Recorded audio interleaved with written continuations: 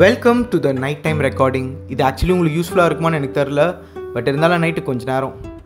நாலு விஷயம் நச்சுன்னு சொல்கிறேன் மைண்டில் வச்சுக்கோங்க. மேபி யூஸ்ஃபுல்லாக இருக்கலாம். ஒரு சில பேர் உங்களை ரொம்ப ரொம்ப லவ் பண்ணுவாங்க.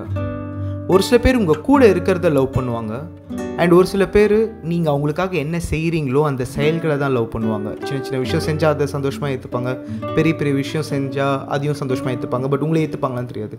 இது எல்லாத்துக்கும் நிறைய வித்தியாசம் இருக்குது இப்போ நான் சொன்னதை வேணால் திருப்பி கேட்டு பாருங்கள் அந்த வித்தியாசம் என்னன்றது உங்களுக்கு புரியும். ஒரு விஷயத்தை அடையணும் அப்படின்னா கன்சிஸ்டன்சி ரொம்ப ரொம்ப இம்பார்ட்டண்ட் அண்ட் கன்சிஸ்டன்சி ரொம்ப ரொம்ப கஷ்டமான விஷயம். பொதுவாக வெளியிலேருந்து என்கரேஜ்மெண்ட் வராதப்போ. வெளியிலேருந்து என்கரேஜ்மெண்ட் வராதப்போ என்ன பண்ணோம் தெரியுமா? நாமளே நம்மளுக்கு கிளாப் பண்ணிக்கணும். நாமளே நம்மளை என்கரேஜ் பண்ணிக்கணும். நாம தான் நம்மளோட பிக்கஸ்ட் ஃபேனாக இருக்கணும். அடுத்து ரொம்ப ரொம்ப கஷ்டப்பட்டு ஒரு ரெண்டு வருஷமோ மூணு வருஷமோ உழைச்சோன்னு வைங்களேன். ஒரு சில சமயம் அது கண்டிப்பாக வேறு லெவலில் கிளிக் ஆகி ஆயுசுக்கும் நம்ம உழைக்கவே தேவையில்லாத மாதிரி ஒரு நிலைமைக்கு வந்துடலாம்.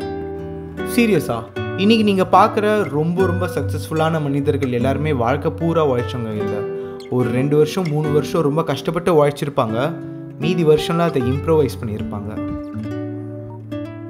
லாஸ்ட்டு அசிங்கம் அவமானம் வெக்கம் வேதனை இதுக்கெல்லாம் அசரவே கூடாது. கஷ்டப்படுற காலங்களில் இதெல்லாம் வரும். அதை ஜாலியாக ஏற்றுக்கணும் அதில் அசிங்கமே படக்கூடாது.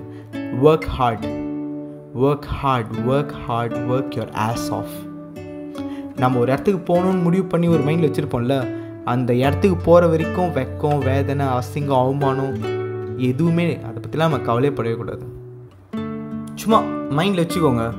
ஏதோ நைட்டு தூங்குறதுக்கு முன்னாடி ஒரு ரெண்டு வார்த்தை பேசிட்டு போகணுன்னு தோணுச்சு. ஒருவேளை நான் சொன்னதில் ஏதாச்சும் ஒன்று உங்களால் ரிலேட் பண்ண முடிஞ்சிருந்தது அப்படின்னா தயவு செஞ்சு கமெண்ட்ஸில் ஏதாவது ஒரு ரெண்டு வார்த்தை அடிச்சு விட்டு போங்க. நானும் ஹாப்பியாக இருப்பேன். இப்படிக்கு என்றும் அன்புடன் அருண் என்னும் நான்.